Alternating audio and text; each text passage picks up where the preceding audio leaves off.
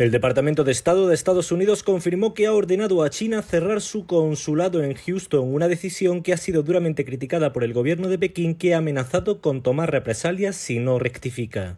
La orden dictada por Washington se produce en medio de las tensiones políticas que enfrentan a las dos mayores economías del mundo desde hace meses.